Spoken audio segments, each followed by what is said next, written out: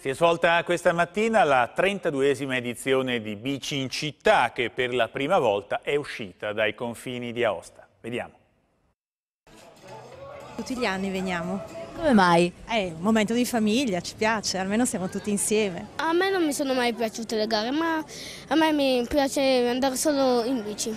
E in sella alla bicicletta sono salite più di 400 persone per animare la 32esima edizione di Bici in città, una pedalata ludico-sportiva che è diventata ormai un appuntamento fisso per molti. Prima volta che partecipi? No, no, partecipiamo tutti gli anni.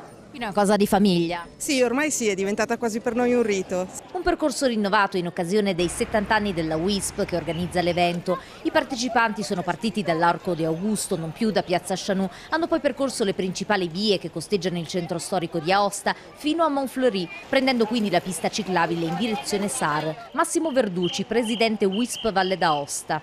L'idea è quella di legare questi due poli aggregativi per giovani, quindi la cittadella e il campo sportivo di SAR dove c'è un bel progetto sociale eh, che vogliamo in qualche maniera sostenere anche con questa manifestazione.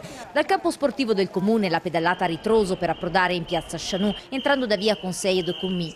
Non sono mancati gli ospiti della casa di riposo per Laurent che hanno fatto il tragitto dell'Arco d'Augusto a piazza Chanou ed un gruppo dell'Unione Sportiva della scuola primaria proveniente dall'Alta Savoia. Sono contenta di essere venuta, anche se il cielo non era così bello. Ma è lo stesso, bellissimo. Depuis dix ans, en fait, on participe à des échanges avec l'UISP du Val d'Aoste et du Piémont. Donc c'est toujours un grand plaisir de venir ici.